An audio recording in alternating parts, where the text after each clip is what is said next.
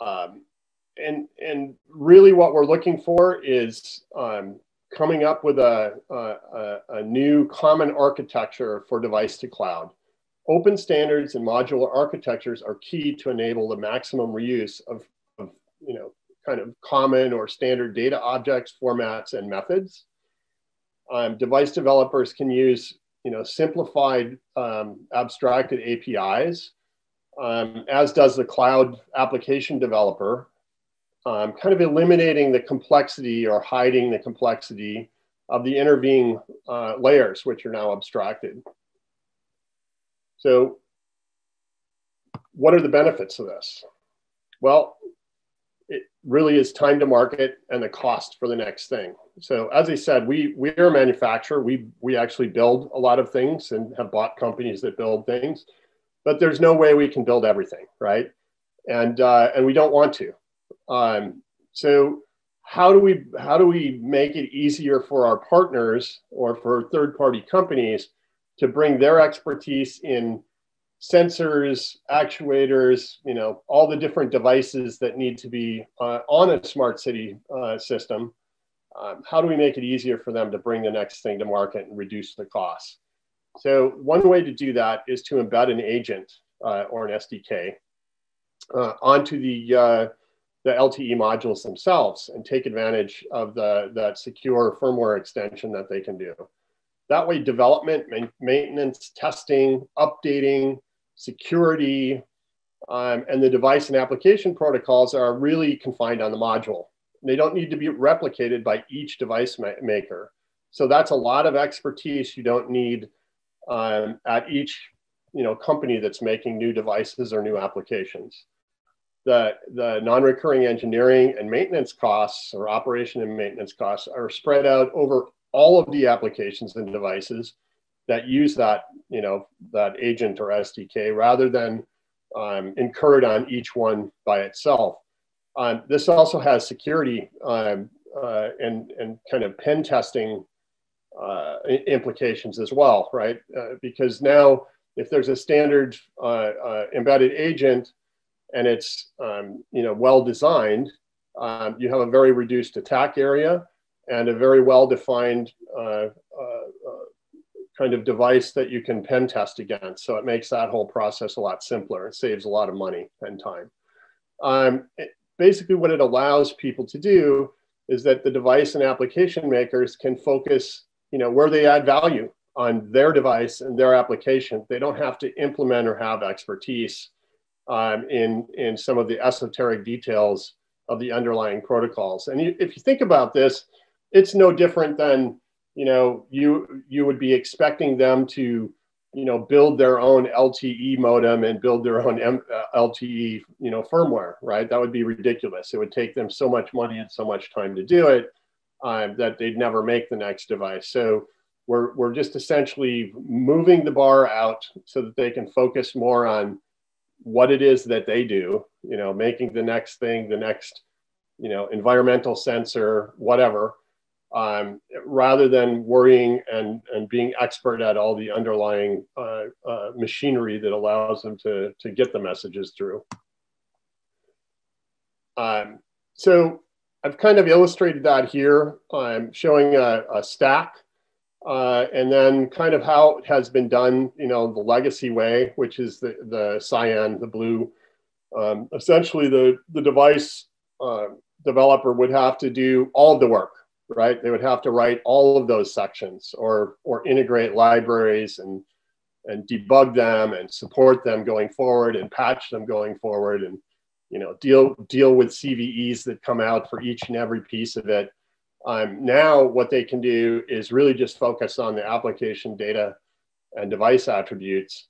Um, and the rest of it's kind of uh, embedded in uh, the, the module uh, and and the companies that are providing this this agent uh, for the module if it's not already on the module itself. So how do we do this? Um, the the way that we've decided to do this, and you know we've tried many different ways, uh, but this is the way that we've kind of focused on now is to use um, a standard called lightweight M2M.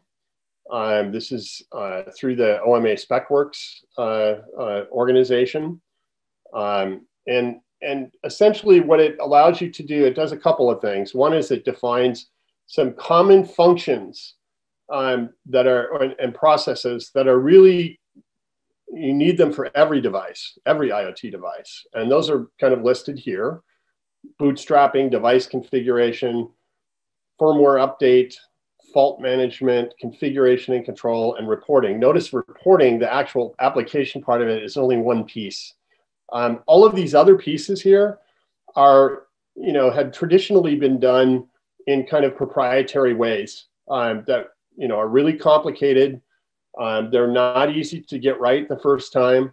Um, and then they have pretty large attack surfaces on them so that, you know, if you don't get it right, um, you know, you may end up with a security vulnerability. By encapsulating all this functionality in, in this one standard, all these common uh, kind of operations, um, you, you have now distilled down a lot of the complexity of bringing a device online uh, and, and made it easier uh, for someone to you know, build the next device. Uh, but that wouldn't be enough, all right? So it's great that you have all the core functionalities covered. The other piece is how do you get an application and a, and a device to be able to you know, communicate whatever it is they're communicating without having to write a, a bunch of custom code to translate you know the type of uh, uh, attributes or data objects that they have and so the answer there is that in OMA SpecWorks, um, they, they define and have a public repository for um, uh, data objects uh, and uh, the attributes in them. So here's an example. Um, I've got a kind of a modem uh, or a, an SOC here where there's uh, uh, you know, embedded stack. Um, there's a third-party device, might have a sensor, an actuator, a street light, whatever, um, and then some interfaces to it.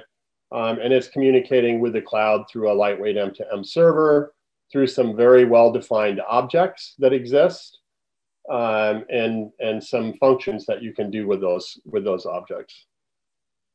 Um, digging into it a little bit in more detail, um, and there's a link at the top if you want to go and take a look at the, the registry and see what's already there. There are many, many device uh, data objects and, and models already defined uh, by uh, in this OMA uh, uh, library. Um, some contributed by IPSO, some contributed by um, uCIFI, some by individual companies. Anyone can create them. Um, you can build them up, you can modify them.